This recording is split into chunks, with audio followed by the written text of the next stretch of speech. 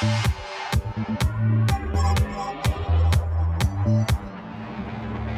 just 23, Cristiano Ronaldo is the eighth highest paid footballer on the planet. According to Sports Illustrated, he earns a massive 12.7 million US every season. This figure will continue to skyrocket if the Red Devils wish to keep him at Old Trafford. It seems inevitable that over the next few years, Ronaldo will don the number one mantle and become the highest paid footballer in the world. However, whatever salary he ends up earning from his chosen club, it's in the sponsorship arena that he'll score the really big bucks, just as his Manchester United forebear David Beckham has done. Upon signing with LA Galaxy, Beckham had no qualms about taking a hefty salary reduction. His earnings now come in at a dismal $142,000 a week, or $7.5 million a year, which equates to around a 40% pay cut compared to his Real Madrid earnings. But Becks's weekly salary is amply boosted by a cleverly constructed deal that ensures he sees a percentage of both LA Galaxy's matchday revenue and merchandise sales. Recent reports indicate that at last count, the David Beckham empire was worth around $225 million. Ronnie isn't quite there yet, but his potent mixture of extraordinary soccer ability and photogenic looks puts him in the running to be the next big thing. Over his short career, Ronaldo has been linked to some of the biggest companies around the world. In 2005, during his second season with Man U, Ronaldo signed up with three major sponsors, the first of which was Suzuki. Suzuki used Ronaldo to promote their new Swift car to the younger male market. During Man United's Far East Asia tour, Ronaldo also promoted an Indonesian energy drink called Extra Joss. The TV commercial featured Ronaldo relaxing on holiday and being blown away by the incredible physical strength and stamina of the locals. The secret to their strength lies in the amazing energy drink. 2005 was also the year that Ronaldo signed up with Nike Pro, a new athlete's clothing line launched by the sportswear giant.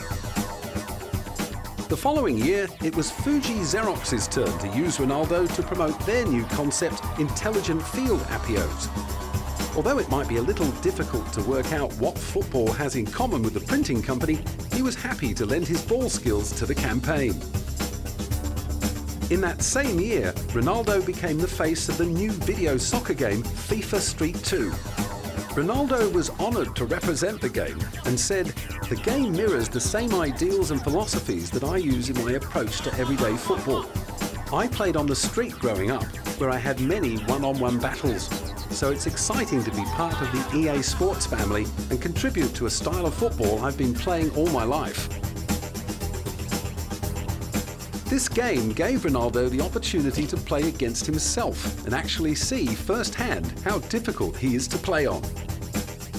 In 2006, Ronaldo also signed with Coca-Cola.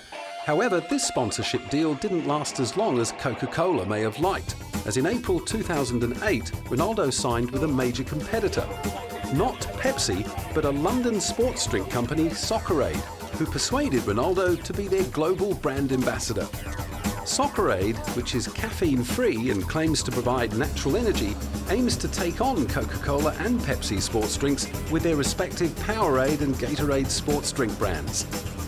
Despite this bewildering number of recent signings, it's his deal with Nike that takes up most of his off field time.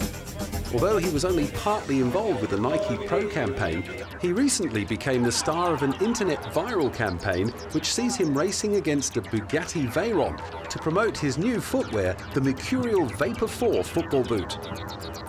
The viral ad runs for around two minutes and uses clever camera angles and editing to show Ronaldo just beating the Bugatti to the finishing line. The ad takes over from the one in which Ronaldinho volleys a soccer ball from the rebound of the crossbar from the penalty spot time and time again. Although not quite as impressive, it seems that Ronaldo has now taken centre stage as Nike's number one soccer representative, and he has also been awarded the honour of being Nike's global brand ambassador.